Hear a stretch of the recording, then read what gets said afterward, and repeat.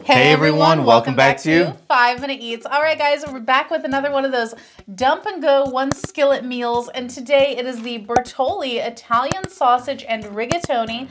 Italian sausage with rigatoni and bell peppers in a spicy tomato sauce. This is 22 ounces. This bowl here represents the entire bag of it. And this was about $6.79 at Target or Walmart, your local grocery store. You can get these at a lot of places. Now, we previously tried their carbonara, which was really good. And if you want to know how you cook this, it's pretty simple, but you can check out our other channel, Food Prep Inc, where we show you how to make it. But today on 5 and Eats, we're going to eat this and tell you if it's good. And guys, if you're new to our channel, basically we review everyday grocery items. So before you spend your hard-earned money, let us tell you if it's worth it. Now, this is the entire bag.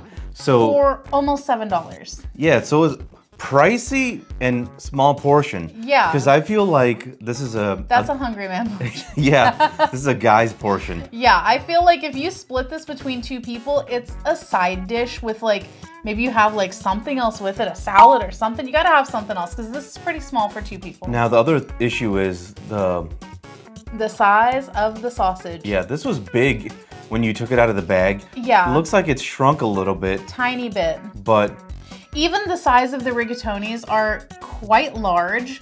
These are big. So, I mean, it's kind of like uh, Alice in Wonderland kind of dish. Everything is supersized.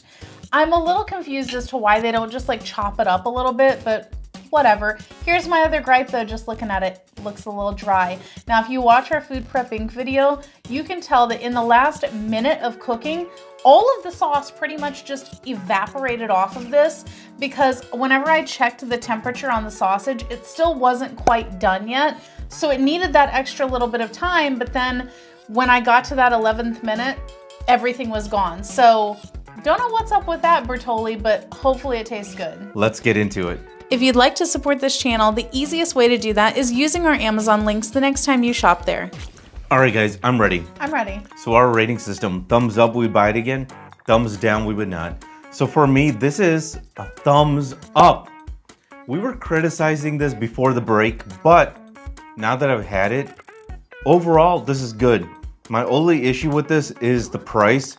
So if I were to buy this again, it would be when it's on sale. The actual food, sausage, I was I was actually questioning how good it would be because it didn't look that great when we cooked it. Uh-huh.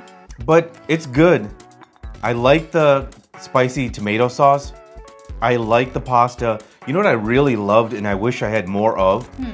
The bell peppers. Really? I really feel, man, that's what made this. Mm. Just that um, little kick, right? Just mm. jazzed it up by having that in there. It made it really good. I wish there was more. Now, about the sauce, if I were to buy this again, I would definitely add more of my own sauce. Mm. But otherwise, good product. Wow. Okay. So for me, this one is going to be, surprisingly, a thumbs up as well. I was hating on this hardcore. Even after I finished cooking this, I was just walking around the kitchen just, just about it constantly. I was annoyed with this thing. And honestly, it blew me away. I am very surprised at how good the sauce tastes. This is a really good sauce. Now, I do wish that there was more of it, but I could add a splash of our own sauce if it's on sale and we buy it because I would not pay full price for this, but. That's the biggest gripe I yes. have and I think you have with this. Yes. This needs to be cheaper. Yes. And also bigger portion. Yeah, exactly. A family size would be great on this, but not a family size for like $20, please. But I'm most surprised also, I feel like, by the sausage because I am highly critical of sausage like this. I always feel like there's gonna be some scary bits in there. I had several pieces of this and there was nothing like scary. There's no gristly bits or anything, no hard bits. This was a really nice dish and I'm highly shocked. To sum it up guys, thumbs up, thumbs up.